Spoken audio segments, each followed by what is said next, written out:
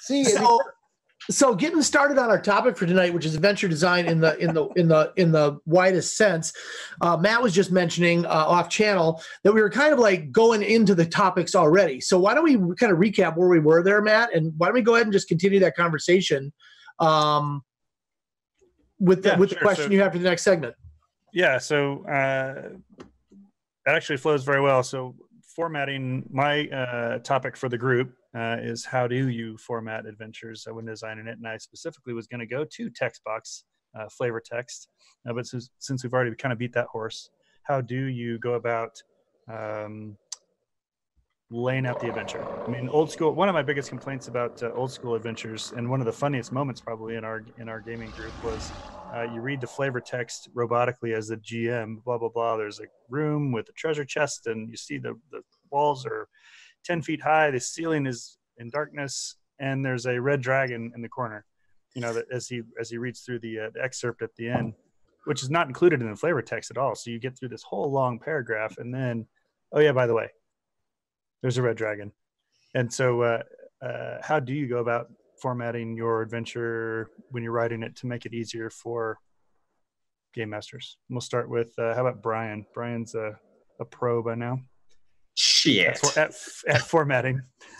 Um, God, that's a good one though. Um, so I always like action and excitement in the stuff that I'm writing, and it, it doesn't necessarily have to be combat related. I, I want something something fun, something memorable, something something that's propelling the game forward.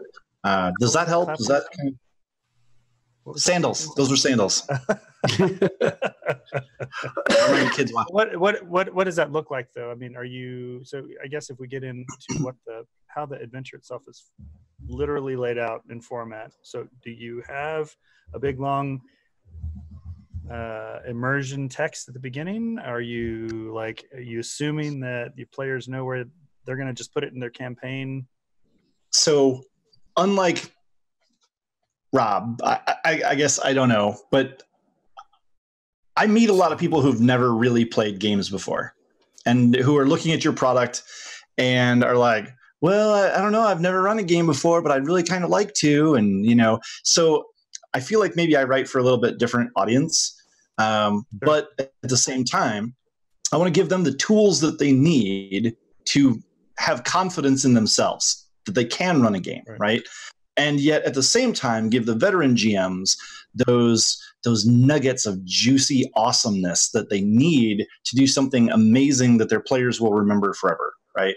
Um, Mhm. And so you you want your story to be awesome, but it's like Rob mentioned, it's not just the game master's story. It's not just the author's story. It's not just the player's story, right? It, it is a culmination of the three. Let's yeah, for sure. And I, I kind of feel like the um, I'm not necessarily a fan of reading flavor text, but I, I have maybe it's a uh, insecurity that people are not going to be able to to uh, interpret what I wanted to put down on when I'm trying to get into the adventure. So I, I include as much uh, as much text as I can to make sure that I kind of cage the game master's head around what what's going on. So Yeah. I can guarantee you, Rob would hate uh, would hate Dude. My adventures. He's gonna hate everything. Your- sounds like. Your uh, example of the red dragon being the last thing that someone mentioned in the flavor text, there are there are legendary authors who are very very guilty of this. So Yeah, yeah, for sure. Uh, uh, Rob, what about you? How do you so when we're talking about the short Shadow of the Demon Lord adventure? How are you li- laying that out? So we got Sure. bullet bullet points, uh, but how does that? No, I'll, I'll put it in, in I'll put it in, uh, in, in standard paragraph flow core text. But I have three rules as far as describing any scene uh, that you go into. If there's an obvious danger, reveal it. Uh, Right. Then appeal to the then appeal to the player's senses. What do you smell, see, whatever. Think about and, and think carefully about what you remember from any given scene. Vision is important, but that's always going to be one of the things you're going to lean on. Uh, smell is extremely important because you always remember it. Think about the last time you smelled a bag of rotting potatoes. You'll never get rid of that smell, right? or uh, discovering the un the the unfortunate fates of a bag of onions left in the back of a cupboard, and then you Mm. peel that gooey mess off the back and Ah. the odor that comes wafting over you, or when your cat shits on the floor for because he's sick or she's sick, and you have to clean it up, and there's all sorts of weird stuff in there. You get all those kind of sensory things, right? And then the last thing I do is uh, give you a sense of place. What is so? I'll, I'll set this up. Uh, so imagine, audience, you're walking into what is obviously a temple of just horrific evil. And you know this because you've seen scenes of such debauchery as to make you sweat. Uh, and I'm not saying that your characters are, but I'm just saying the experience so far has made you all clammy, moist, one might say. And you open this door, and inside you see that there is a rather corpulent fiend of some mammoth proportions who is straining from his nether regions to push out a glistening sack of fluid and solids that are all squirming about with a, a, a cluster of eyeballs that are pressing against the tissue. And the smell that comes wafting off this thing is one of rancid ham. Like where it's turning green, like it's peeling off the lid. And then you look around this room and you see in this room there's a vaulted ceiling and there's an upside down cross and it's been somehow turned upside down by some mad cultist dedicated to Satan. And that you can get from just like three bullets, right? There's a big demon taking a shit and pooping out monsters. The smell is ham, rancid ham, and the sense of place is the filed temple. And that's all you got to do in order to give the audience. Now, there's one thing I will never, ever, ever, ever, ever do is tell the players what they what they feel. Hmm. Never, ever, ever, ever, ever tell the players what they feel. It's your job as a both game master and as a writer to build that in a way that the audience absorbs it. Oh, that's good. Yeah, I like that. That's we great. absorbed it. Oh yeah, we did. You like that? Yeah. Bob, can you tell how we feel right now? Never gonna get the rancid rancid hem smell out of my clothes. I absorb the hell out of it. The All right, rancid. Danny, uh, so- that's uh, that's going to be uh, tough to tough to top. Me? What about you, Danny? Yes, Danny. What about you? Um, I feel like when I when I put together when I write, I tend to write as if I am writing for an audience, even though to date I've pretty much written my own stuff for me. But I try to think about it professionally, and I try to write like when I have to write convention rounds for people who are going to be running it, who I'm not necessarily going to know. I do a one page sheet at the very beginning that just says it's all pro advice type stuff. There's no beginners because beginners love pro advice and pros love pro advice. So nobody, you don't have to ever write for basic people. Everybody who wants to run a game wants to run it as well as they can. So everybody wants the best mm-hmm. stuff. And then I set the stakes. I just say, this is what's going to happen if you do nothing. And I write that as like one sentence. Like this demon is going to shit out monsters until the fucking cows come home, unless the whatever.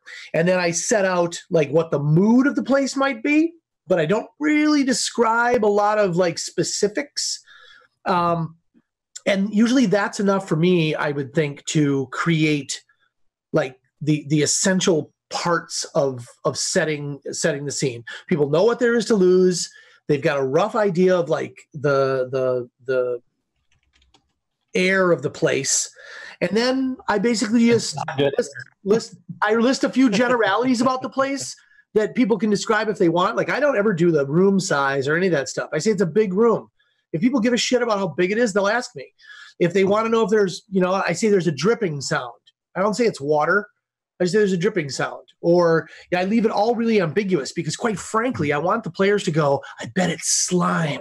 I bet it's slime dripping in that corner. I'm like, fuck yeah, it is. I never thought of that, but that's a great idea. It's slime and now it's all over you. you know, so I I leave a lot of it in the players' hands to tell me what's terrifying them. I write a lot of horror stuff too. Um, so I want to know what's scaring them, and then it's easy for me to just turn the dials up. You know, so I would include some random charts or maybe a table or two that says, you know, if the players go in direction A, have more of this creepy shit happen to them. If they go in direction B, give them some clues and some additional creepy shit. You know, I keep it real loose. And generally, I think you could write most adventures on two pages. Um, if you didn't have to worry about the source book material and recreating monster stat blocks and shit like that. Two to four pages, you could write a really good four hour game. Probably you could write a three story arc, 12 hour arc on four pages. Nice. Nice. Yeah. And uh, Rob, you're getting a lot. I don't know if you're watching the uh, Twitch chat, but you're getting quite a bit of love. Oh, that's sweet. I love you Twitch too. Chat, so They're sending you porn. We gave them your address. No, they're Oh, getting moist. They're, they're, they're, They're may not be- moist. They're getting Because my wife and I share a Facebook page. I'm kidding. We don't. may or may not be Oh, tentacles. great. I'm not sure. Uh, Zode and Night Fallen both uh, have been Yep. singing your praises from the rooftops. Jimmy, Well, hail uh, I think Satan. you got a hail. There you go. Another hail. What's up? Moist crunchies. Moist crunchies. That's right. Thanks, Ursa. You're up, Jimmy. You're up, Jimmy. What am I up for? Oh no. Your question. Your question. I know my question. So, well, I'm not the writer in the group here, so go figure. Uh, and, and so, um, but what we talk about with my segments is usually something in the virtual side. And when chatting, uh, and we're talking about note taking, which is one of the features I think uh, is underutilized on the virtual side, at least from some of the games that I have DM'd and played in. And so we're chatting in the fantasy ground setup, and Matt will slap me around because he'll bring up the Roll20 side. We try not to talk about that. Uh, and so the note sections we're trying to, in the adventure side is the two spots in the Fantasy Grounds interface. One is the note section in the player character sheet, and the other note section, which is in the interface itself. And managing those for not in the GM using on the note side to record some of this text information that apparently we don't like in modules because I have seen that I think it's kind of important. There's a mix there. What's that happy medium for some of those notes? Okay, for Sure. because our program uh, we've when we've talked about the inception of doing this, we were trying to help those who are trying to run games. We've seen lots of questions they want to ask, and we're trying not to get other people would slap them down like that's a stupid ass question. And we're going, no, no, we want we want to try to provide a platform to answer that. And so I think in the adventure size, yeah, sometimes like if we're more professional and you're comfortable in managing that game, then you, only need a few things like Rob was saying. But then there's some of us we will run a lot of the created modules. Well, that's what our our focus is on, and so I don't mind some of that flavor. And it's given me enough, then I can build off of it. And I think that we can have a medium in there. And so I just want to say, but on the, but I think that as GMs and even the players to use those sections uh, in a virtual tabletop to put those extra pieces down about your character because I know some of people are doing it at their tabletop games with their notepads and all that. But on your character and things that happen when you're playing the game, we'll go in there and jot that down because you're going to be looking at it all the time. And same thing on the on the platform notes interface. The GM's put in his notes there to use it, and then you can share those, or the characters can actually create public documents that they can start chatting down about what's going on in the venture, and they can then share it with the group.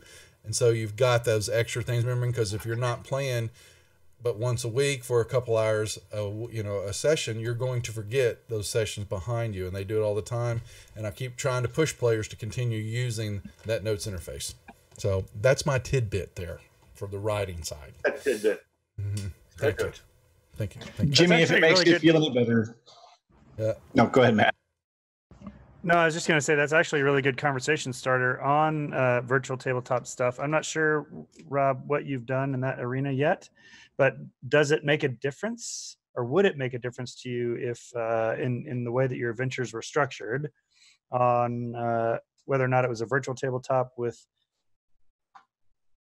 specific ways that a game master can interact that they can't do at the, at an actual a real table does it does it make any difference to you as, I don't as know. the way that your Um, adventures laid out I think like if I was running Call of Cthulhu on a virtual tabletop, it would be an opportunity for me to present uh, props more easily.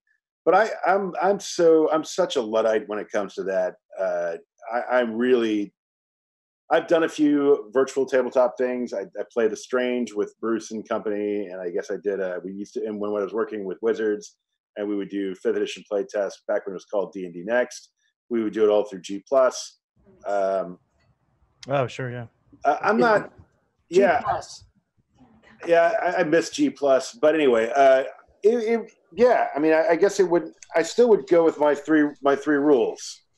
What's the what's the thing that's scary? And if there's anything scary there, what's the most obvious thing? I mean, I just think about what human experience is like, right? Where mm-hmm. If you go to the grocery store, you're probably not going to remember the person who checked you out in the grocery aisle unless you went to the self checkout thing, and then you probably not recognize one of those self checkout machines for anybody else because you're just going through the motions of living. And if yep. you're going into a dangerous place, uh, you're probably not going to notice the fact that the floor is made of slate rather than granite because you don't give a shit. You're just looking for a thing that's going to kill you. Uh, so I, I, just sure. And, and I, as, as uh, Danny was saying, you let the players guide what information they seek. You can always give more information based on their queries, but keeping enough just to tickle their imagination, to give them a sense of, to immerse them just enough that it drives them to keep asking questions and learn more about their environments.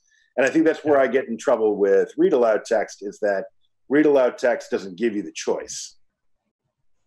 That's valid. That's that's hmm. probably one of the better arguments that I've heard against it is that you it, it takes that choice out of the game master's hands. It right it puts everything uh, right there on paper. That's that's that's a really good argument. Yep. But but don't you think going to Jimmy's point? I'm going to take Jimmy's side in this, and he and I are probably as disparate in our GM styles as you could be.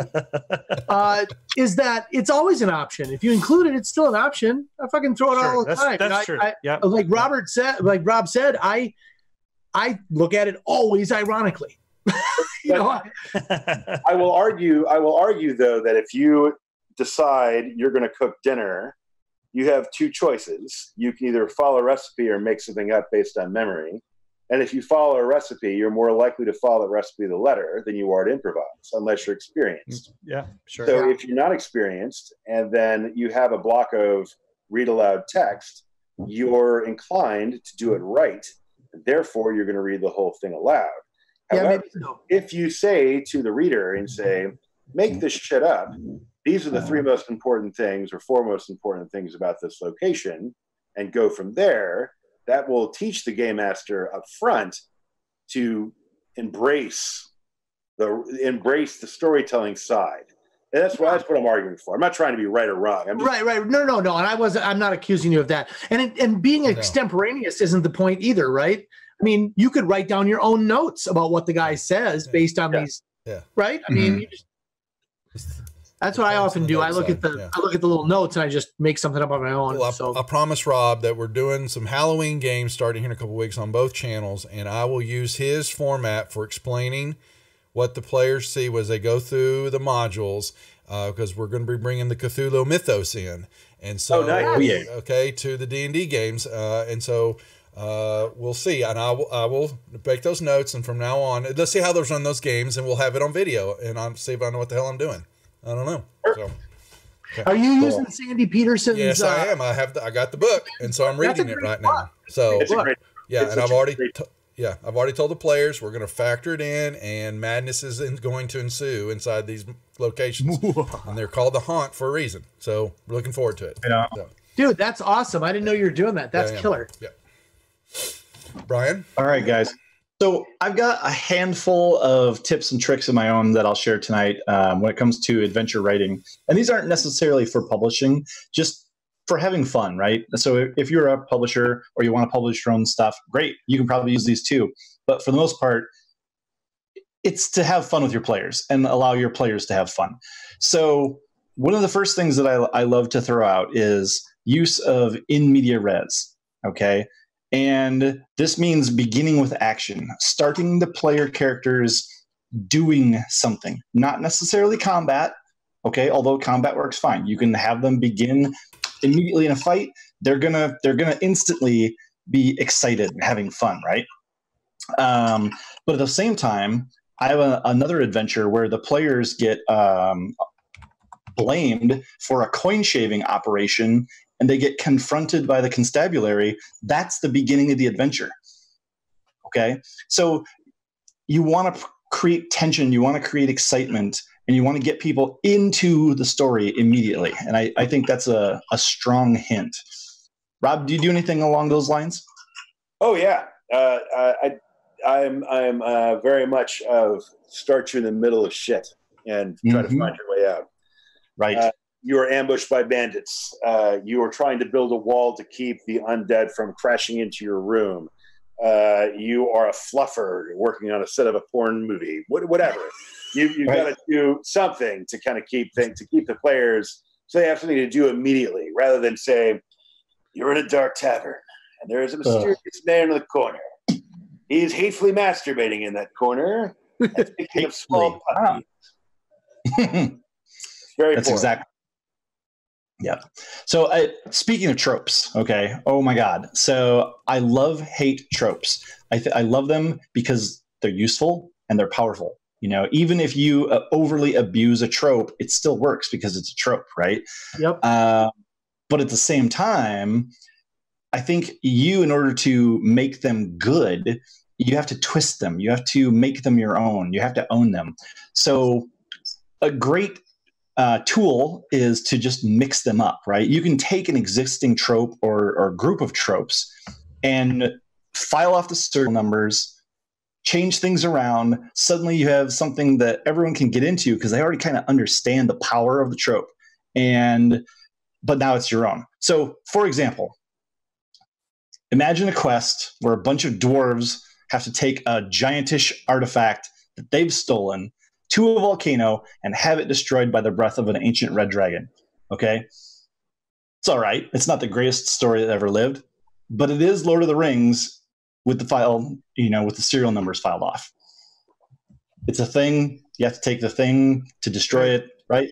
You could take any movie that you loved Oh and yeah. do exactly that, and suddenly you look like a great game master coming up with this amazing storyline that your players really love. And then later, 10 years later, you can be like, oh, yeah, I totally just ripped that off. Yeah, I, I used to start game. I played a, uh, an Orient Express game, and I always started it the same way. You felt the tracks giving way about five seconds ago, and in the time it took for you to just take action, everybody roll initiative now. Everybody rolls initiative. Uh, the the the the bridge was already giving way, and the train is plummeting, and then the game starts. So everybody's got to figure out what they do, and most people, I mean, people do all sorts of crazy shit in situations like that. And the main thing is, it doesn't have to be combat. Mhm. It doesn't have to be a fight, right, Brian? I mean, it can be an encounter. It can be Absolutely. I'll. Hello? Hmm? What? Hmm? What? Hmm? Hello. Well, I was just going to say, I, I don't think, I don't think, I think that's why I like the word encounter so much when that really came into common parlance, because now it, every time I think about a fight, I think about it like an encounter where a fight might happen, not as a combat encounter or something like that. It's just, it's just an encounter. Something could happen, one of which might be a fight. And then the last thing that I, I try to always incorporate is uh, think about your players.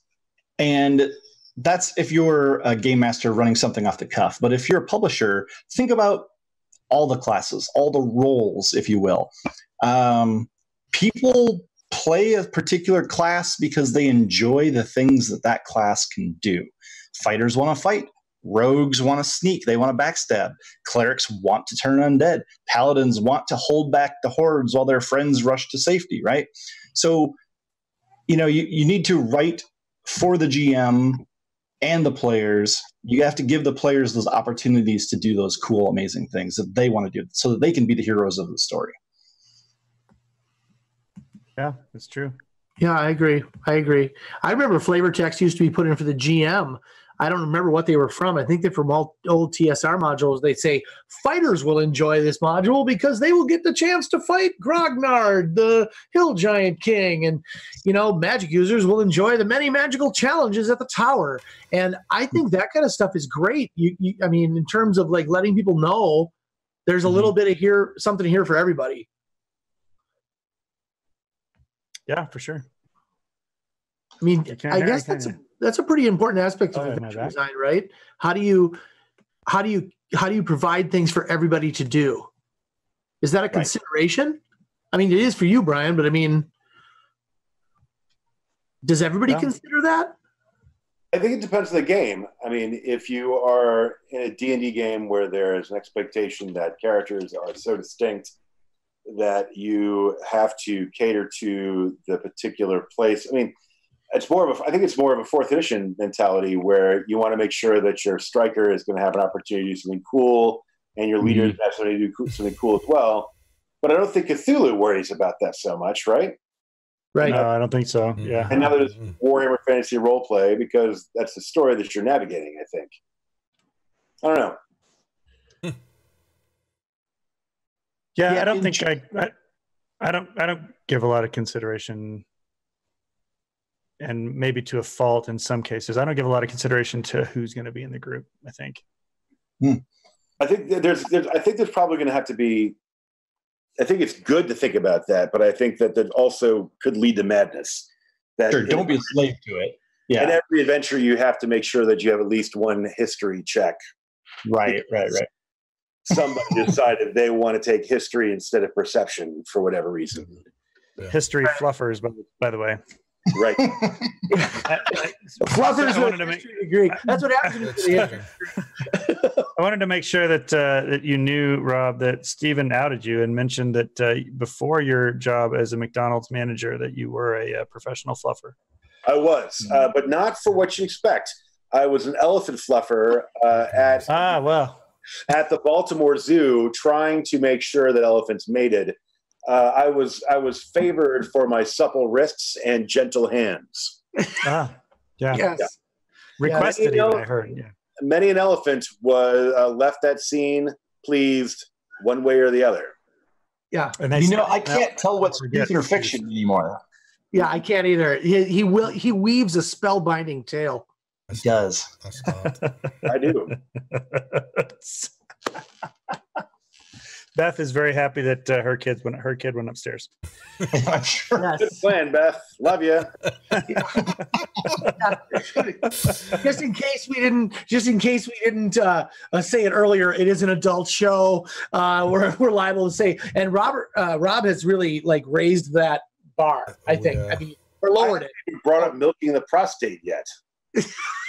That's true. Yep. There we go. All right. Thank you, everybody. Thanks, Thanks, Rob. everybody. We'll see you. Out there.